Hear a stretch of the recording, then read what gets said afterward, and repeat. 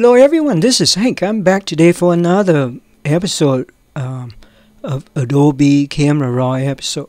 And today we are going to talk about the crop and rotate panels. Okay, so if you take a look at this picture, right, the first thing you might have noticed is that it's a little bit tilted to the right. And so you want to straighten it to the left. Now, uh, and then that's a job for the crop and rotate panel. Okay, so uh, to get to the, the crop panel, I just call it crop for short. Okay, you either can click it here, and then you get into it, or from from the main one, you can do AC to get to it. That's the shortcut for it, which is fast. But then also if you want to get into a crop panel for the purpose of straightening, there's another shortcut that is helpful. And you can press an A. And then it'll do two things. It'll go to crop panel. It, it will highlight the straighten thing for you. Like this, okay? So it will straighten it. Um, not straighten, but it, it select it for you. Okay, so three, four ways to do this thing. Okay, so let's let's get back to this.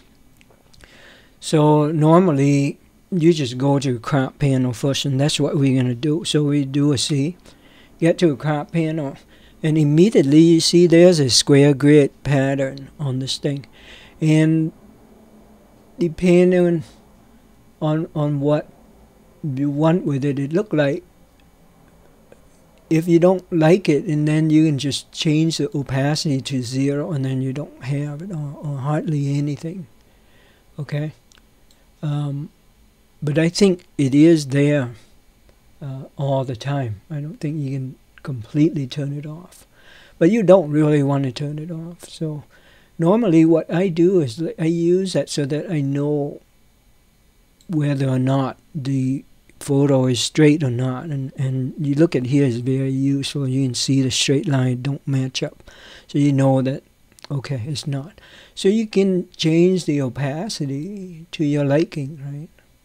So in this case, this picture is, is pretty bright, so it's kind of hard to see. So I, I tend to change the opacity and I change the grid size to a lot larger. This is the largest it will do. And if you go over here, you have it very busy. So I normally just crank it up all the way to the top. But okay, so that's the first thing that um, you need to know is a grid and how to control it. And then um, on the preset, right, the default I believe is full, but you know ACR remembers what you did last, so it may be different for you, but it doesn't really matter. You can change it. You can always go into here. And you see that there's a whole bunch of of uh, options, right? Now, let's talk a little bit about this. Okay, in your camera, usually it lets you um, set the format that you want. And the default be full. Full is usually 3 by 2 Okay, so that's the standard uh, uh, photo format from most cameras. And then it allows you to change it to something different, right? So, um, so I know that it, it, will let you do 16 by 9 and some other. But I recommend that for the cameras, you just keep full. You know, as long as you're going to do some post-processing, then you don't really need to do it from the camera because once you change your mind, you, you know, it's easy to crop, but it's, it's harder to uh, expand it where you don't have any data, right? So the Photoshop or something will have to make up for it, and it's, it's never going to be easy. So, so in the camera, you do full. You can go in here and you can do full, or for the purpose of printing mostly. For example, if you want to print a passport photo in the U.S. at least, then you need a square one. Okay, and then you can easily do a square like that. Or if you want to print 8 by 10, then you do this, right? You do this so that um, there's no surprise when you send your photo out to print and then you know the printer auto crop it for you and you lose a head or a leg or an arm that happens a lot so what you may want to do is to to put the format to the right one. Now this format is kind of vertical. I don't want that. Then what do I do? All you have to do is click on here and then it will switch the the ratio for you. So pretty simple right? Similarly if you print it on a legal US uh, size image, it's 8.5 by 11, okay, and so on and so forth. 5 by 7 is popular print format, 4 by 6 as well, at least in the US. 4 by 3 is the old-fashioned TV type, right? Um, you can do that. 16 by 9 is the modern monitor size.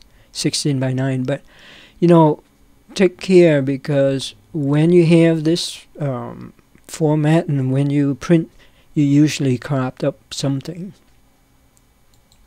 okay then 16 by 10 is a popular print format as well so um, and then when you have this right you can just move this thing to frame it wherever and then you can resize it by just dragging one corner. Now that leads to this lock symbol.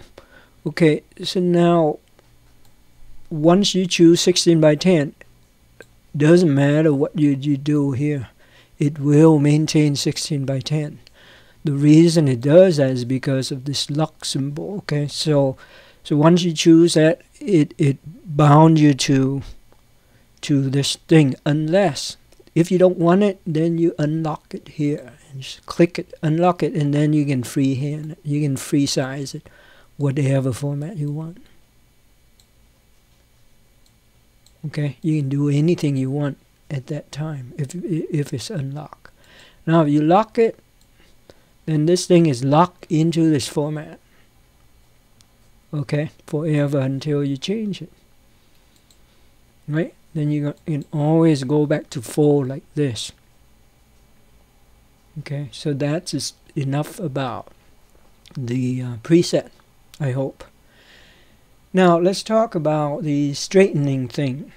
Okay, as you can tell, this one is tilted to the right, and you need to do it back to the left.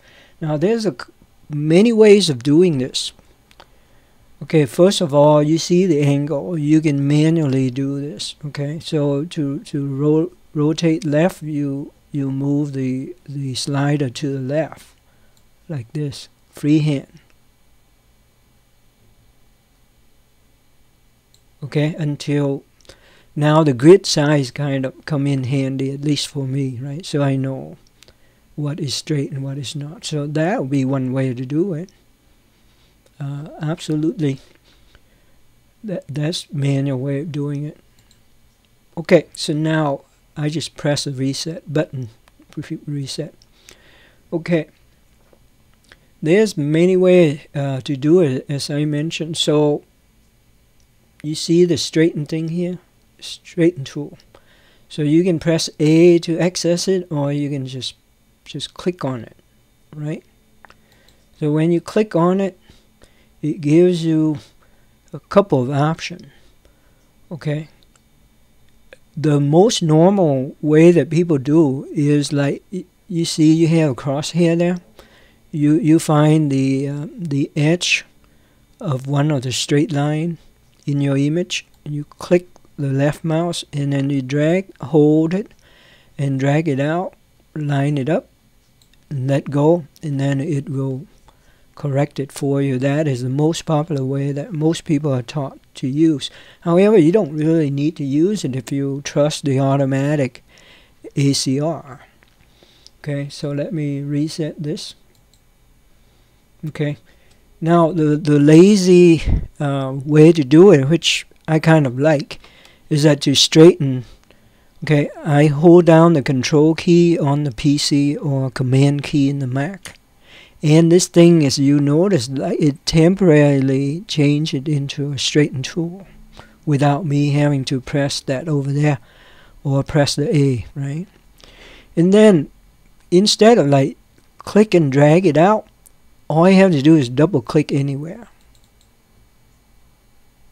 And this thing will automatically straighten it for you. Alright, so that's pretty handy, right? Alright, so you can also go over here and double click on it and it will straighten it for you. Okay? So okay one more thing would be if you select this thing by either pressing A or, or clicking on it and then over here you just double click. I kind of showed you that already but so there's many ways of straightening it. Okay for some images all you need to do is straighten but for this image this thing is still tilted so you still need to fix it and we already talked about using the geometry distortion correction and the other tool um, the, the the the lens tool to correct for uh, some of the effects. So, okay, so we are basically done with the preset and the angle now, just a rotate, right? All right, so let's reset this thing. No, I don't have to reset. Okay, so just keep it straight. Now, to rotate it, you can just click this one and rotate left. Okay, or the shortcut's really easy. Left, L for left, right? So you can just click on L and it, it would rotate, keep rotating. Uh, likewise, you can click this thing to do right or you can use the R to do it. So these are pretty easy to remember. L for left, R for right, okay?